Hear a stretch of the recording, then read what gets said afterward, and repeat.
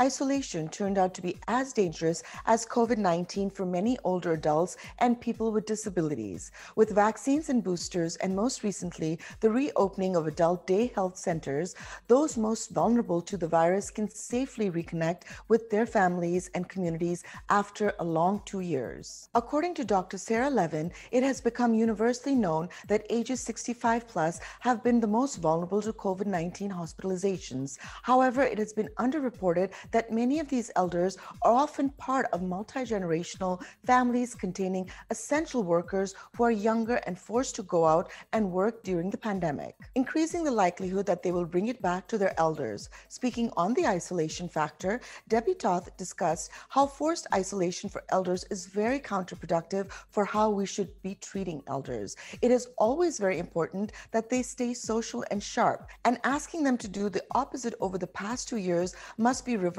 in order to improve their state of mind. Suzanne DeMarois brought up how there are services, supports available for isolated elders in all counties of the state of California. You can call 1 800 510 2020 for further assistance.